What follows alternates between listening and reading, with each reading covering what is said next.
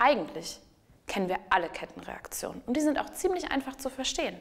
Beim Autofahren zum Beispiel, wenn ein Auto langsamer fährt und das nächste noch langsamer und irgendwann gibt es einen Stau, ist auch schon eine Kettenreaktion.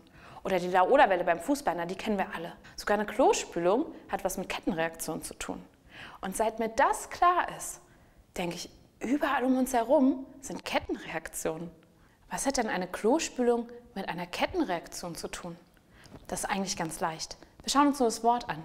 Kettenreaktion, also Kette und Reaktion. Kette, woran denkt man da? Na klar, etwas folgt auf etwas anderes.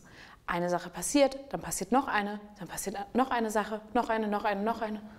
Und Reaktion, das heißt, etwas reagiert auf etwas anderes. Eine Sache wird ausgelöst durch etwas. Es braucht also am Anfang einen Auslöser, dann wird dadurch noch eine Sache ausgelöst und noch eine und noch eine und noch eine.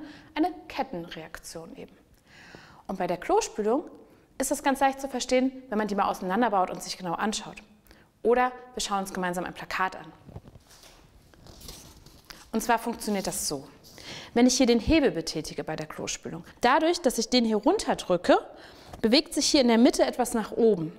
Und an diesem Hebel, der sich hier nach oben bewegt, hängt der Stöpsel dran. Der Stöpsel kommt also mit nach oben und das Wasser kann reinfließen. Das ist aber nur eine Kettenreaktion. Es gibt sogar noch eine zweite. Und zwar, wenn das Wasser reinfließt in den Spülkasten, dann läuft das ja nicht über. Und warum ist das so? Das funktioniert deshalb, weil wir haben hier diesen Schwimmer. Das ist ein Teil, was nicht untergeht.